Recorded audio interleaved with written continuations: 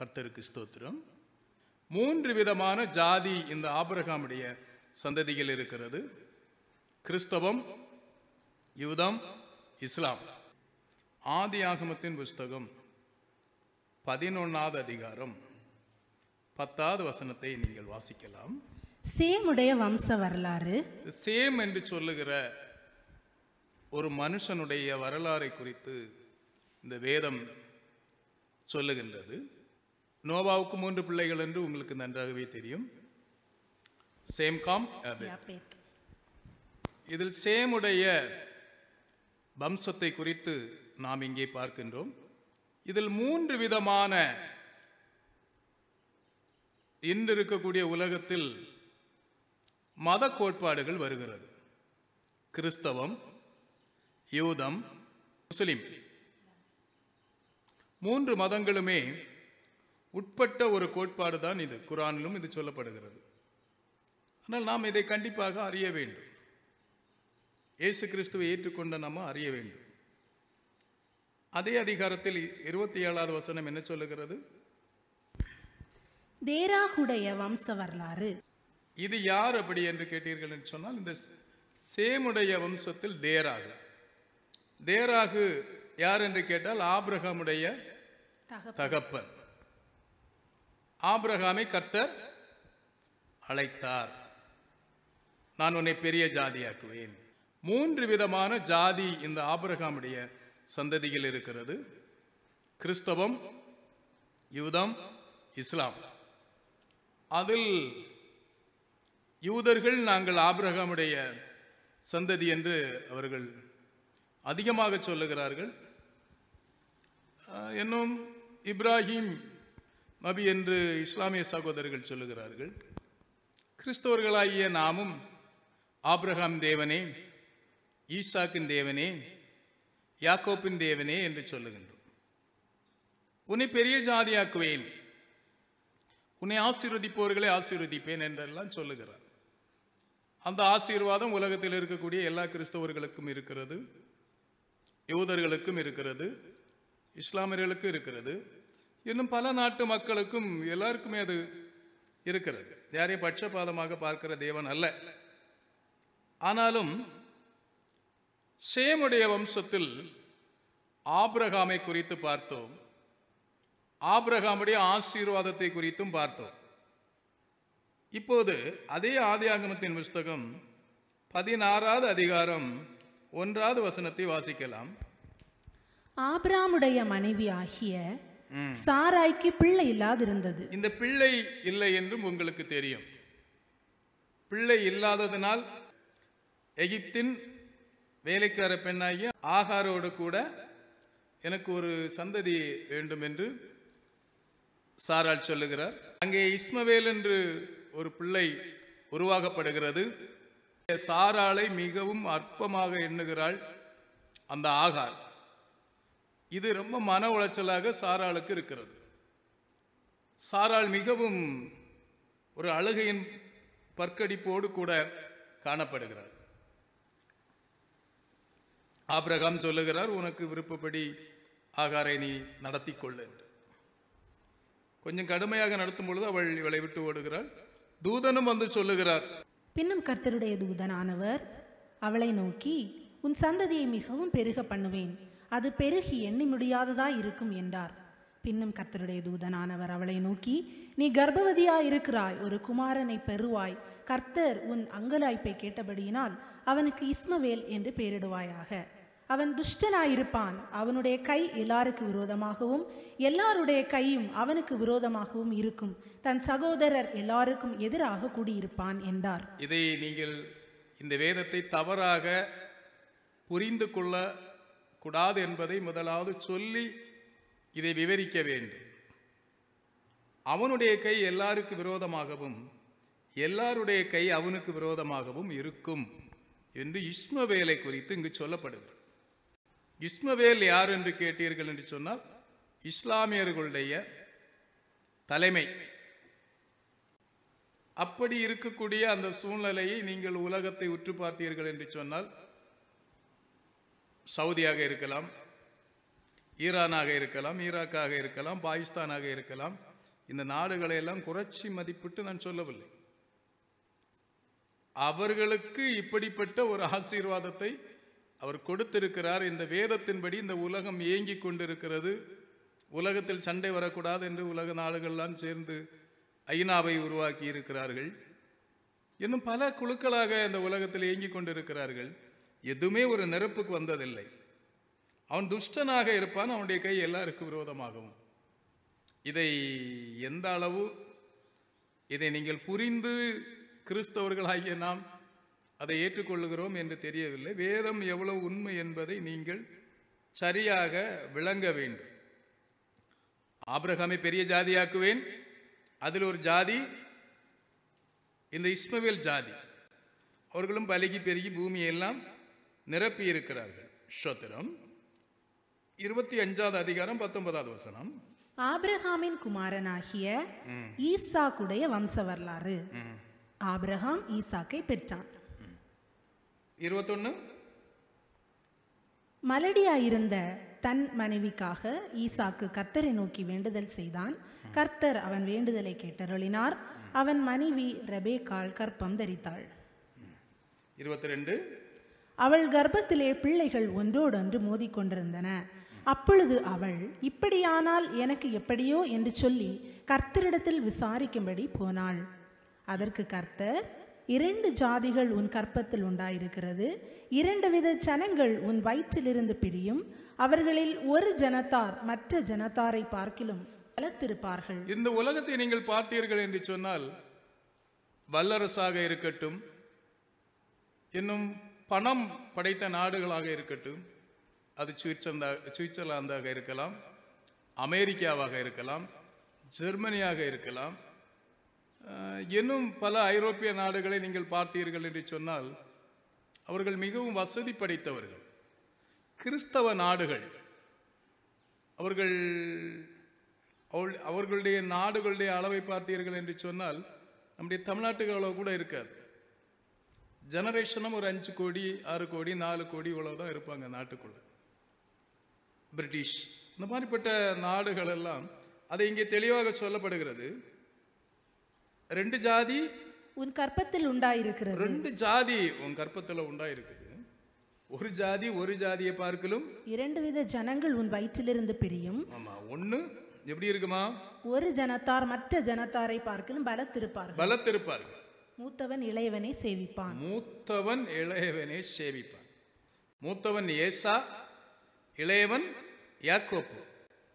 இப்ப யாக்கோப்பு இந்த யாக்கோப்பு என்று சொல்லுகின்ற இந்த மனிதனுடைய சந்ததி தான் உலகத்தில் இன்று தன்னை மையப்பகுதியாக நிலைநிறுத்தி கொண்டிருக்கிறது.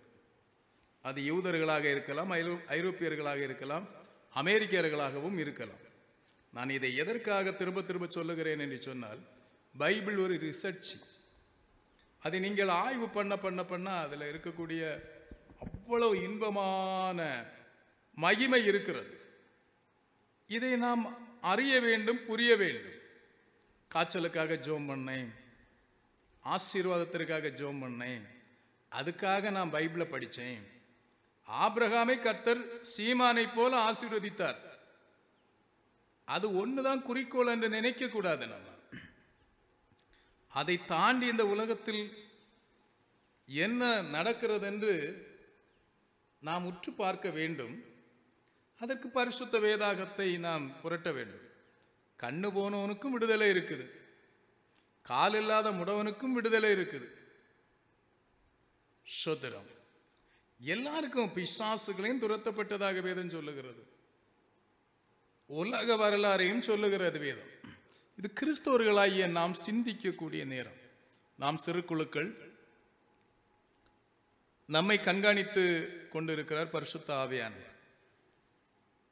அப்ப இந்த ஜாதியும் ஒரு ஜாதியை விட பலத்ததாக இருக்கும் என்று சொன்னேன். அதை நீங்கள் பார்த்தீர்கள் என்று சொன்னால் உலகத்திலே உங்களுக்கு தெரியும்.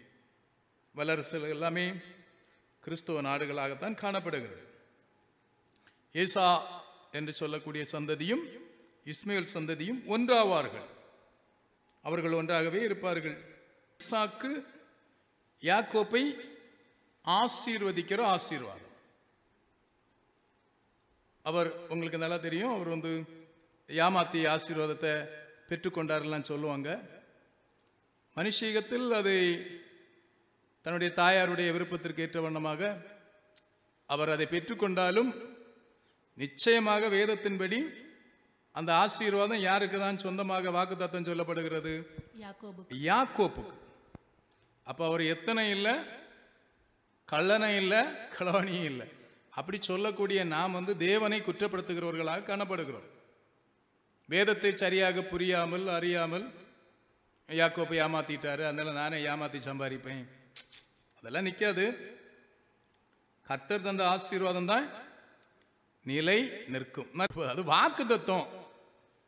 இளையவனை வந்து மூத்தவன் சேவிக்க வேண்டியது கத்தருடைய கட்டளை. அவர் யா- யார் மேல கிருபையா இருக்கிறாரோ அவனுக்கு மேல கிருபையா இருப்பார். ஏசாவை வருத்தேன்.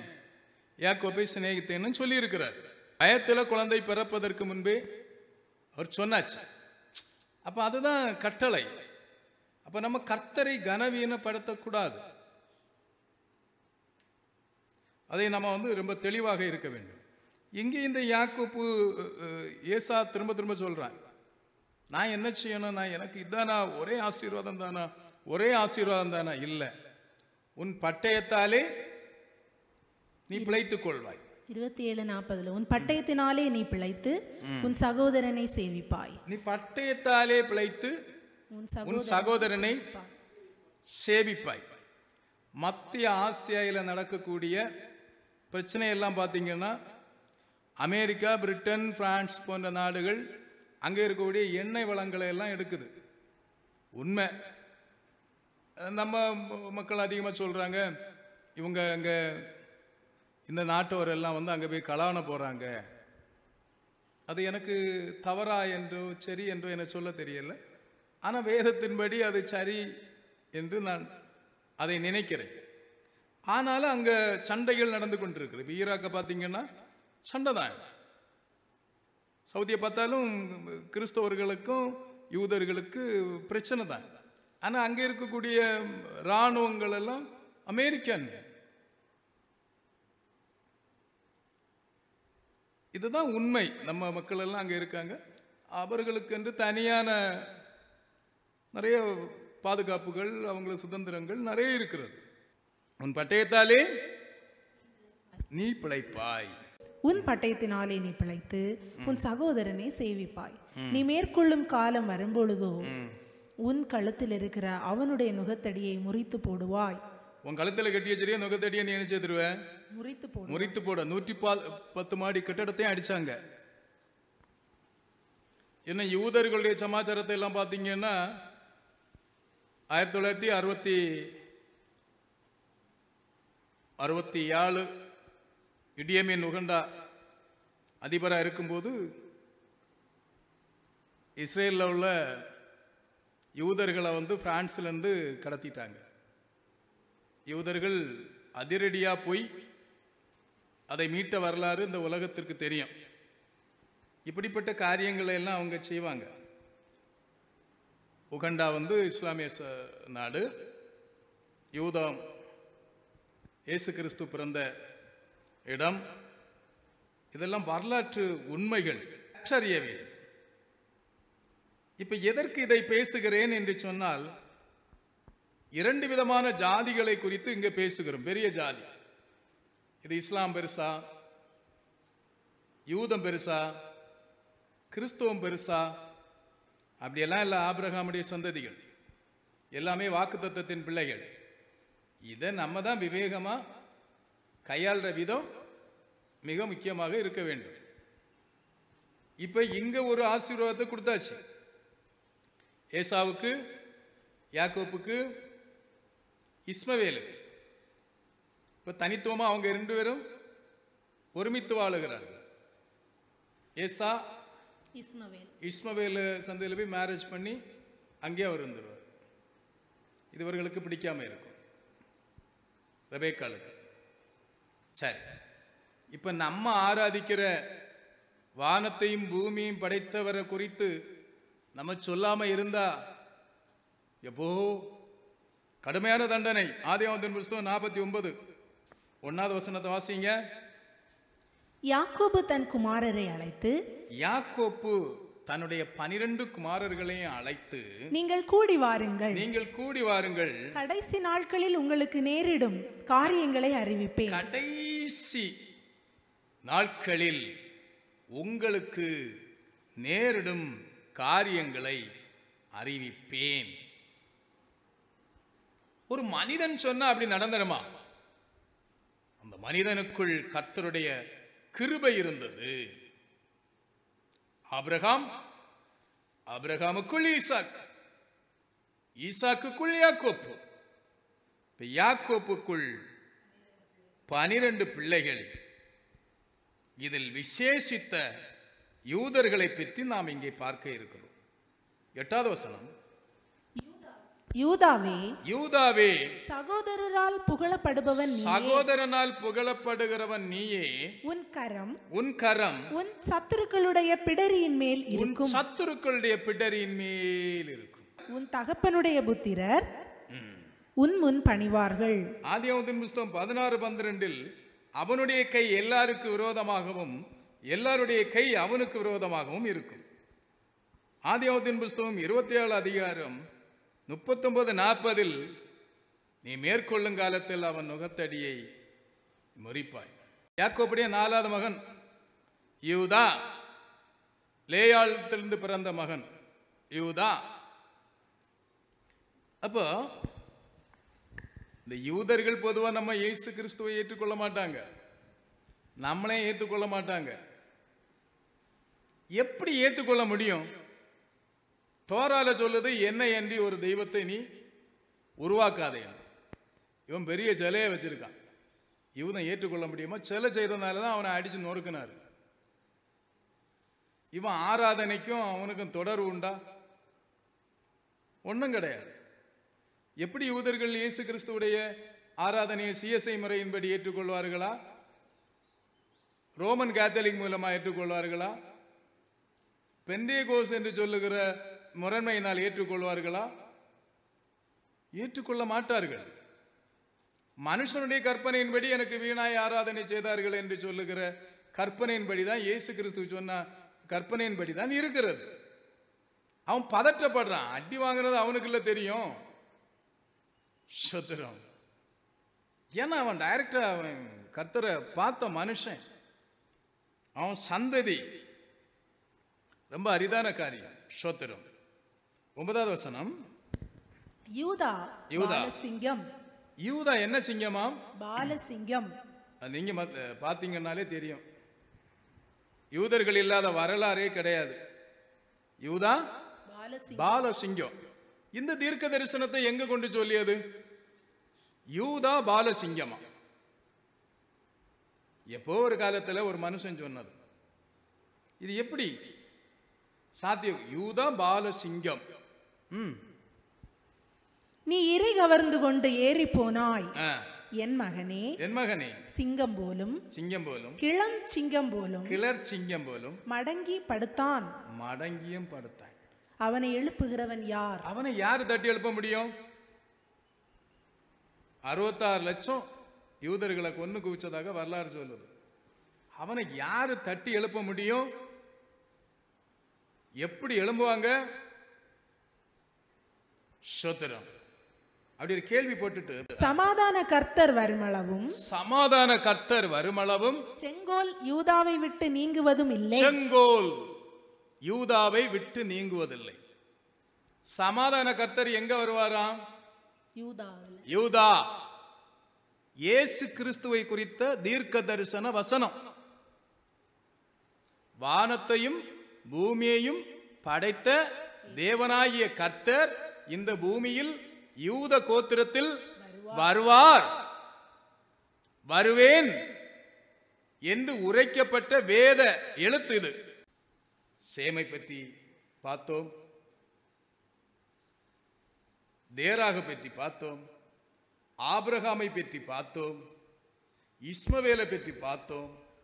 ஏசாவை பற்றி பார்த்தோம். யூதர்களை பற்றி பார்த்தோம்.